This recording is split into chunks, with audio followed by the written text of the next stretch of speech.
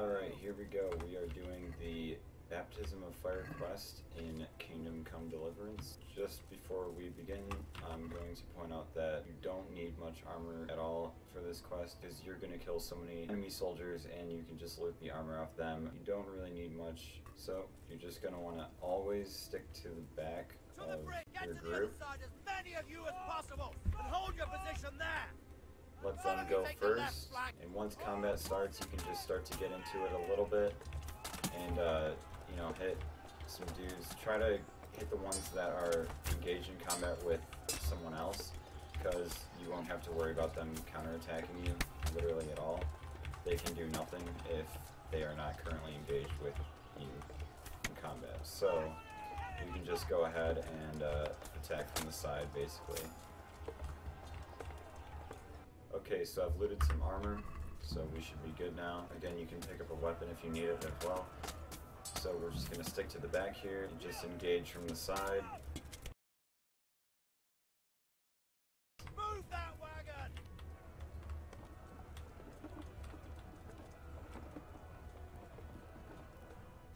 Okay, once that cutscene is over, we're gonna immediately run over to this pile of hay, hit E to set hay on fire, and run back to your group of soldiers so you don't get hit by arrows. Now, the archers are gonna come down and join the fight, so you're gonna wanna take them out, and they are very weak, so you're really easy to take them out. Once you've cleared that first group, you're gonna run back here. These enemies are a little bit more heavily armored, so just bear that in mind. Generally, the Cuman commander will probably get killed by your allies, so you don't really have to worry about that. And once you've taken out all of them, you're all set. Again, I just want to note that the commander does have, if you can find his body, he does have really good armor that you can steal from him and it's definitely worth it. Then we're going to advance to the main area. Alright, and same thing, just engage in the fight, try not to get hit. Remember that you cannot heal during battle, so it's really important that you don't get hit. As long as you don't go off on your own, you should be okay. Just kind of stick to the back and get a hit in when your enemy is turned. Like that. The camp is ours! Now to conquer the church! Now just take out the stragglers. Okay, so a group of reinforcements is going to come attack, so be prepared for that. While they start using the battering ram. And this is the last group of enemies that you're going to encounter, so just take them out, and you'll be good to go for the next part.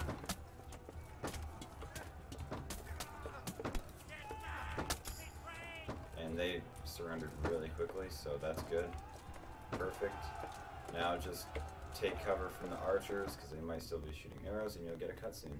There's the commander and Henry's going to chase after him and this fight is extremely easy. It might take you a few tries but you do get a checkpoint. As soon as the game loads in, back up, hit 2 to bring out your bow and arrow, load up an arrow and fire it right into his head for a one shot kill. It's as easy as that. That's all you have to do and you're done. You've completed the mission.